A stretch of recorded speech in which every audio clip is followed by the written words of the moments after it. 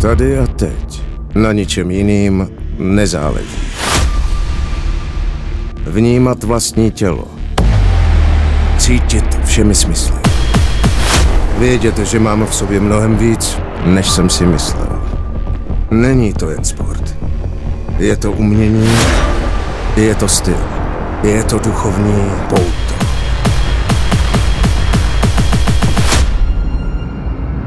A jaká je tvoje cesta?